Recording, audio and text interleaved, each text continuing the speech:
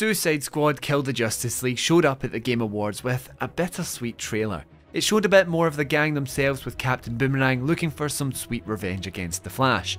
But the trailer ended on an emotional note with the reveal of Batman, who, for the last time, is voiced by Kevin Conroy after his passing. The trailer fades to black with the message, Thank you, Kevin, coming into view.